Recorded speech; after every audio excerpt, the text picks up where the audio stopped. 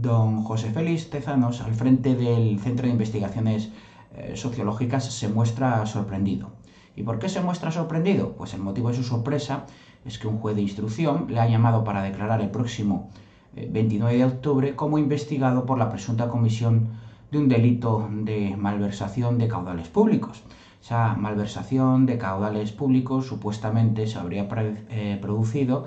por la utilización de recursos públicos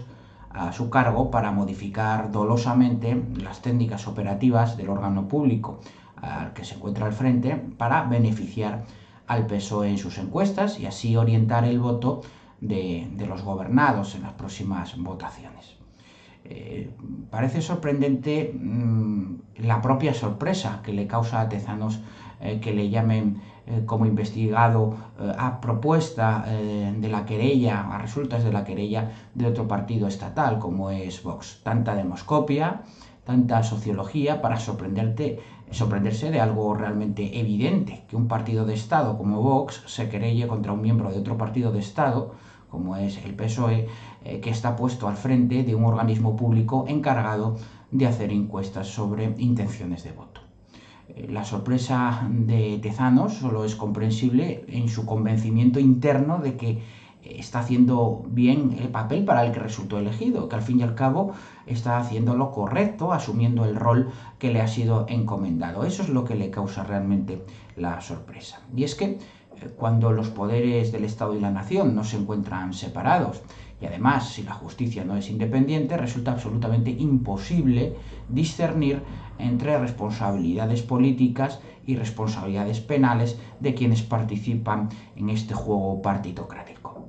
La politización de la justicia y la judicialización de la política son en realidad dos caras de la misma moneda y son las, eh, la consecuencia de esta inseparación.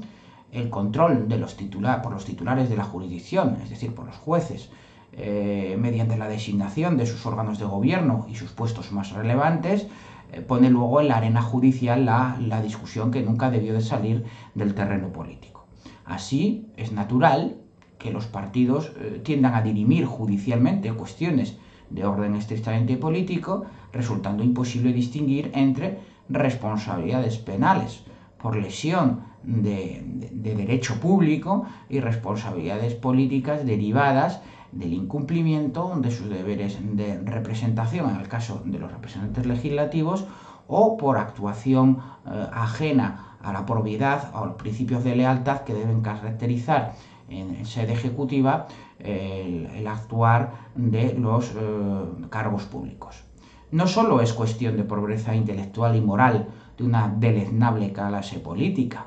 eh, y querellados, en este caso concreto que estamos eh, señalando incluidos. La corrupción es peor, es de orden institucional, es sistémica e impide discernir la responsabilidad penal de los delegados de los partidos estatales de la responsabilidad política de sus miembros. Tezanos se sorprende así porque, como hombre de partido, nunca se planteó que mientras la responsabilidad penal precisa de culpa o dolo, la política es de orden objetivo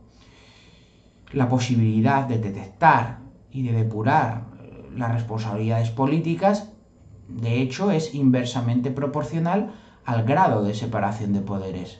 Mientras que, por ejemplo, en los Estados Unidos, los casos Watergate y Levinsky, aun sin responsabilidad penal de los presidentes afectados, los puso en la picota de la responsabilidad política, en contraste, en España, por ejemplo, se eludió el, el procesamiento del jefe del Ejecutivo por delitos de asesinato con la simple excusa de su estigmatización pública. Es el caso de los GAL, el caso de Felipe González. ¿Qué mayor muestra esta última de confusión entre responsabilidades políticas nunca asumidas y las penales, que confundiéndose en una sola avalan a fin de cuentas la irresponsabilidad más absoluta de los titulares de un poder único solo dividido funcionalmente?